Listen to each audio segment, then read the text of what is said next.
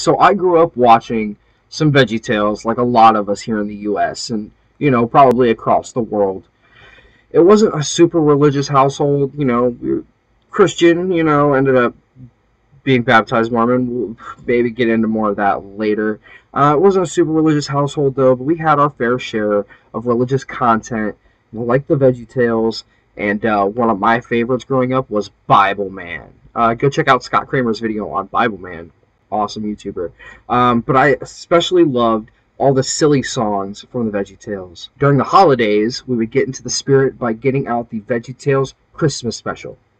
Welcome, and this is the second flick in the 12 flicks of Christmas here on GeekBorne. On special Sunday, we're obviously covering the Veggie Tales, the toy that saved Christmas. And uh, if you haven't seen it before, I recommend going and watching it. We're going to go ahead and get started. So we start by seeing Grandpa George, who is telling a Christmas story to his little granddaughter. Back in the day, he used to deliver mail to a town who didn't get Christmas.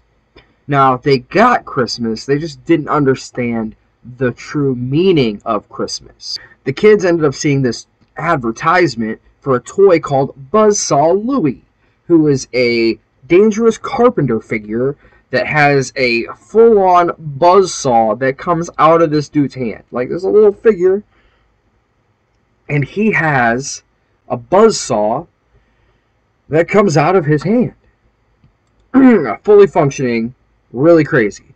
Um, and he tells you what Christmas is all about getting toys. Uh, of course, this ad super manipulative. The kids end up running out after seeing the advertisement, telling their parents that they need to go get this toy.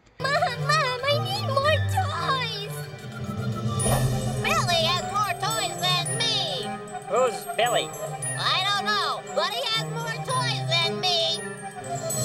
I want a Buzzsaw Louie! I want ten Buzzsaw Louies! Cause that's the true meaning of Christmas! and he knows that Billy's got more toys than you. Uh, one of the toys came to life as he heard the sayings that he was programmed to say, and he ends up singing a short song about how there has to be more to Christmas. It's not just about toys and you know getting all the things that you can. Of course, the toy Louie ends up breaking out of the toy factory, and instantly he falls right off the cliff and into a snowbank. This is about our 10 minute mark through the episode, and we get our silly song with Larry. And this is a song called Oh Santa, where Larry goes through and sings while he's waiting for Santa to come. Meets a few other wacky characters along the way. Uh, but we end up going back to the show. We see Larry, Bob, and Junior. They're sledding down a hill. Of course, Larry and Junior get out of the way, but Bob ends up crashing. And this is where we get one of my most quoted lines as a kid. I wanted to play Mousetrap. You roll your dice, you move your mice. Nobody gets hurt. Uh, the three of them end up finding the Buzzsaw Louie toy. He tells them that he's on his adventure because he has to find the real meaning of Christmas. Bob claims to know someone that's really smart, and it turns out that it's Grandpa George that is telling us this whole story.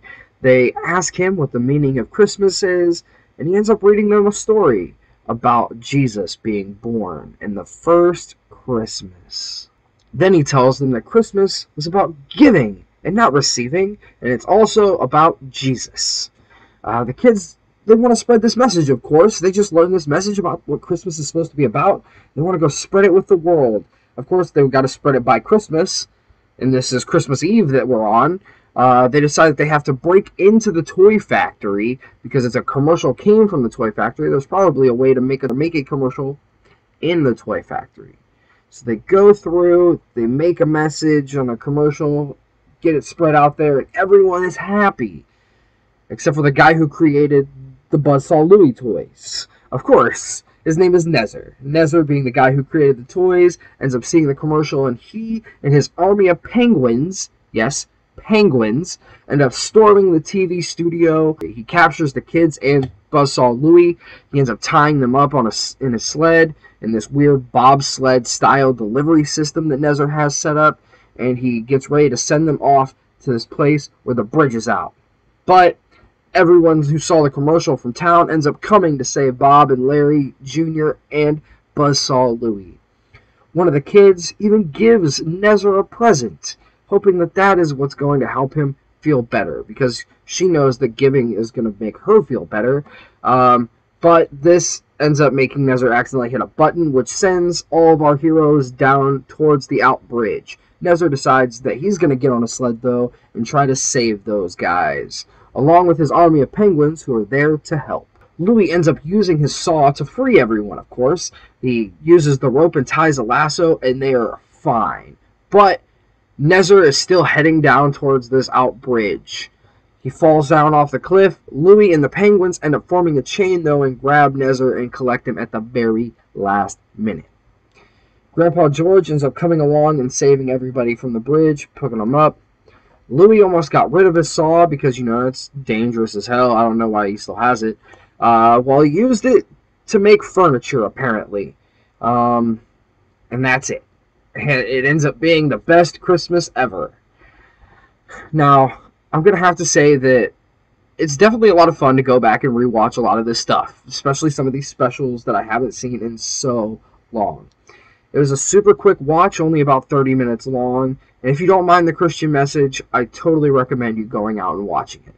Now, oddly enough, I have heard that in other countries where they don't practice Christianity, they have actually dubbed this without the Christian message and just left it as a Christmas movie about a toy who saves Christmas. Still, somehow, should look more into that. It just seems super interesting. But, you know, I feel like for the 30 minutes, it's super fast.